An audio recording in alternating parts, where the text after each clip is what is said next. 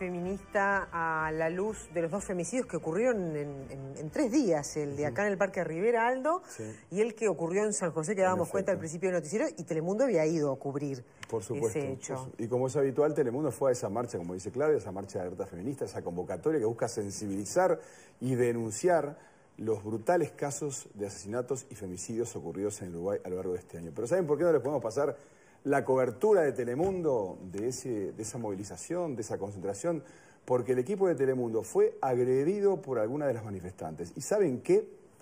El equipo estaba al mando de una mujer periodista, Macarena Savera, que está muy bien, ¿eh? no quiero asustar a nadie, está muy bien, eh, Macarena y Claudio Zavala, los dos trabajadores, una mujer al frente, y fueron maltratados, insultados, golpeados, por lo tanto, no tenemos la cobertura y queríamos dejar constancia de este hecho de violencia que ocurre en una concentración que busca sensibilizar un tema tremendo y brutal que nos enferma, que es la violencia contra las mujeres. y agredieron a una mujer otras mujeres, una cosa insólita. Como siempre hacemos, Aldo, además, pues siempre vamos a estas coberturas. Alerta Feminista no es la primera vez que, realiza, siempre lo hacen cuando eh, ocurren episodios tristes como, como estos de los femicidios.